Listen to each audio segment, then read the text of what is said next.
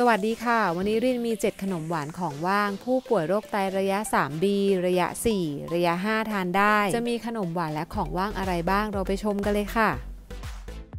เมนูที่ 1 วุ้นผลไม้รวมค่ะ ถ้าเป็นวุ้นผลไม้รวมปกติที่เราเห็นกันก็จะใส่ผลไม้ที่มีสีสัน ไม่ว่าจะเป็นบลูเบอรี่ สตรอเบอรี่กีวีหรือว่าส้มนะคะ แต่ผลไม้เหล่านี้จะมีโพแทสเซียมสูงค่ะสำหรับผู้ป่วยโรคไตไม่แนะนำนะคะ ให้เลือกทานเป็นผลไม้โพแทสเซียมต่ำที่ผู้ป่วยโรคไตทานได้ เช่น ชมพู่องุ่นเขียว แอปเปิลแดง แอปเปิลเขียว หรือว่าจะเป็นสาลี่ก็ได้ค่ะ แล้วก็หั่นเป็นชิ้นเล็กๆ ค่ะ หลังจากนั้นเราก็นำผงวุ้น 1 ช้อนโต๊ะผสมกับน้ำตาลทราย 1 ช้อนโต๊ะ แนะนำใช้เป็นน้ำตาลทรายปกติครึ่งช้อนโต๊ะ และน้ำตาลทรายเทียมครึ่งช้อนโต๊ะเพื่อเป็นการลดปริมาณการทานน้ำตาลลงค่ะ คนให้ผงวุ้นและน้ำตาลทรายเข้ากันพักไว้ก่อนค่ะ ตั้งหม้อนะคะ เติมน้ำเปล่า 2 ถ้วยตวงลงไป ตามด้วยผงวุ้นที่ผสมแล้ว คนให้ละลายจจนน้ำเดือดค่ะ แล้วก็พักไว้ให้เย็นก่อนนะคะ แล้วเราก็ตักใส่พิมพ์ที่เราเตรียมไว้ค่ะ เวลาตักเราก็จะตักวุ้นลงไปแค่ครึ่งพิมพ์นะคะ ตามด้วยผลไม้ที่หั่นชิ้นตามลงไป แล้วก็ตักน้ำวุ้นให้เต็มพิมพ์ค่ะ หลังจากนั้นนำไปแช่ตู้เย็นช่องธรรมดาประมาณ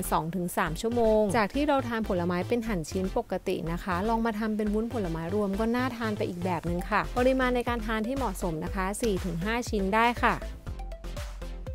เมนูที่ 2 ขนมสาคูน้ำกะทิธัญพืช สาคูเป็นแป้งปลอดโปรตีนค่ะ ขนมสาคูน้ำกะทิที่มีวางขายทั่วไปนะคะ ส่วนใหญ่เขาก็จะมีใส่ข้าวโพดหรือว่าเนื้อมะพร้าวด้วยค่ะ แต่ว่า 2 อย่างนี้จะมีโพแทสเซียมสูงมากเลยนะคะ ผู้ป่วยโรคไตไม่แนะนำให้ทานค่ะ ตัวของสาคูผู้ป่วยโรคไตสามารถทานได้ค่ะ แต่ว่าที่ไม่แนะนำให้ทานนะคะ ก็คือตัวของกะทิค่ะ เพราะว่ากะทิจะทำมาจากมะพร้าวจะมีฟอสฟอรัสและโพแทสเซียมสูงมากค่ะท่านไหนจะซื้อขนมสาคูสำเร็จรูปมาก็ได้นะคะ แล้วก็มาทำตัวน้ำกะทิเอง หรือว่าท่านไหนจะต้มเม็ดสาคูเองก็ได้ค่ะ เราก็นำเม็ดสาคูประมาณ 3 ช้อนโต๊ะนะคะ มาต้มให้สุก ต่อมาเราก็จะมาทำตัวของน้ำกะทิธัญพืชกันค่ะสำหรับผู้ป่วยโรคไตแนะนำใช้เป็นกะทิธัญพืชหน้าตาแบบนี้นะคะ สามารถหาซื้อได้ตามห้างร้านซูเปอร์มาร์เก็ตทั่วไปเลยค่ะสำหรับกะทิธัญพืชนะคะ ก็เป็นทางเลือกสำหรับผู้ป่วยโรคไตที่อยากทานเมนูที่มีส่วนผสมของกะทินะคะ แต่ก็ไม่แนะนำให้ทานบ่อยเกินไปค่ะ 1 กล่องเล็กนะคะ ปริมาณ 200มิลลิลิตรค่ะ ในเมนูนี้เราจะใช้ประมาณ 50มิลลิลิตรหรือว่าประมาณ 3 ช้อนโต๊ะค่ะ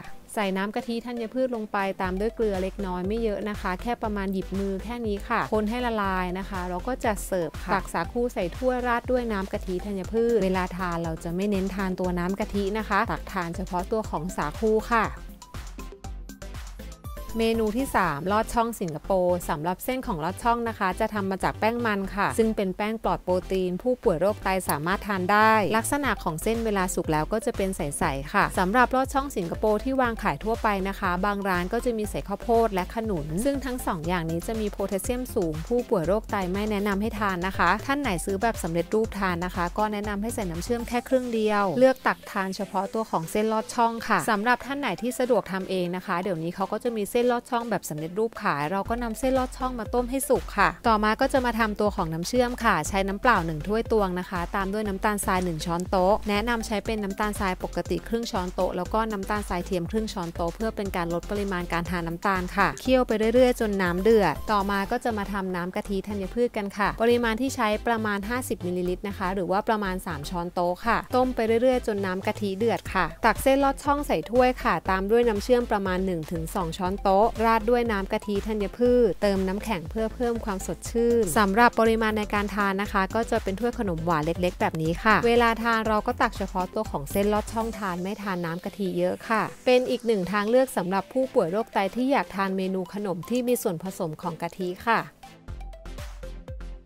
เมนูที่ 4 สาคูแคนตาลูปนมสด สาคูทำมาจากแป้งมันสำปะหลัง ซึ่งเป็นแป้งปลอดโปรตีนค่ะนำเม็ดสาคูประมาณ 3 ช้อนโต๊ะไปต้มให้สุกค่ะ ต่อมาก็ใส่นมและน้ำตาลทราย น้ำตาลทรายเราจะใส่อยู่ที่ 1 ช้อนชาค่ะ ตั้งไฟนะคะ คนให้น้ำตาลทรายละลาย พักไว้ให้เย็นค่ะ ปกติผู้ป่วยโรคไตจะไม่แนะนำให้ทานนมอยู่แล้วนะคะ เพราะว่าจะมีฟอสฟอรัสสูง แต่ในเมนูนี้เราไม่ได้ใช้เยอะนะคะ ใช้นมสดประมาณ 2-3 ช้อนโต๊ะเท่านั้นค่ะ จะไม่เหมือนเวลาที่เราดื่มนมเป็นกล่องๆนะคะ ฉะนั้นสามารถใส่ได้ค่ะ ต่อมาเราก็หั่นแคนตาลูปนะคะท่านไหนจะหั่นเป็นสี่เหลี่ยม หรือว่าจะตักเป็นลูกกลมๆแบบนี้ก็ได้ค่ะสำหรับแคนตาลูปนะคะ จริง ๆ เป็นผลไม้ที่มีโพแทสเซียมสูง แต่เราก็ไม่ได้ใส่เยอะค่ะ ใส่ประมาณ 2-3 ชิ้นเท่านั้น เราก็ตักสาคูใส่ถ้วยนะคะ ราดด้วยนมสด แล้วก็ตกแต่งด้วยแคนตาลูปค่ะ เป็นอีกเมนูหนึ่งที่น่าทานมากๆเลยนะคะ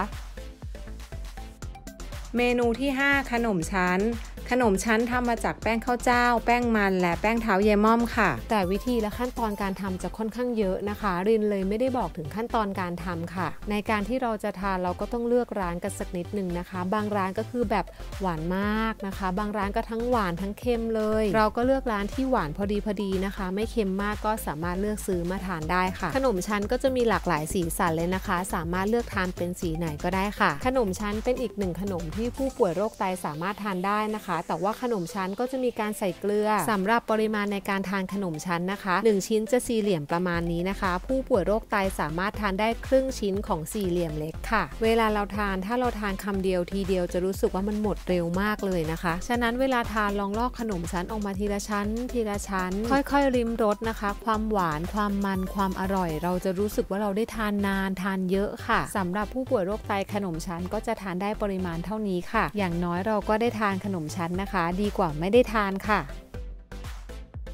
เมนูที่ 6 คุกกี้ไข่ขาว เดี๋ยวนี้นะคะ ก็จะมีผู้ผลิตคุกกี้ไข่ขาวจำหน่ายอยู่ในอินเทอร์เน็ตหลากหลายร้านเลยค่ะ เพื่อไว้เป็นทางเลือกสำหรับผู้ป่วยโรคไตที่อยากทานคุกกี้ ส่วนผสมก็จะมีไข่ขาว แป้งแล้วก็น้ำตาลค่ะ รสชาติก็จะหวานน้อยนะคะ โซเดียมและฟอสฟอรัสต่ำที่สำคัญไม่มีไขมันทรานส์ค่ะสำหรับปริมาณในการทาน 2-3 ชิ้นได้ค่ะ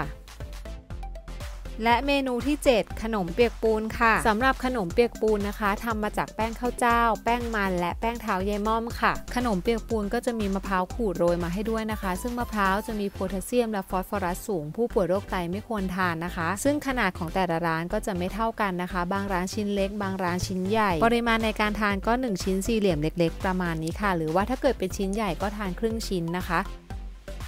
สำหรับ 7 ขนมหวานและของว่างที่รินนำมาแนะนำกันในวันนี้ทานในปริมาณที่เหมาะสมไม่เยอะเกินไป ไม่บ่อยเกินไป รินขอเป็นกำลังใจให้กับผู้ป่วยโรคไตทุกๆทท่านที่กำลังควบคุมอาหารอยู่นะคะสำหรับวันนี้รินฝากไว้เพียงเท่านี้ค่ะ สวัสดีค่ะ สุขภาพดีไปกับคุณริน เพียงกดไลค์กด Subscribe กดกระดิ่ง เพื่อรับการแจ้งเตือนคลิปวิดีโอดีๆ แบบฟรีๆได้เลยค่ะ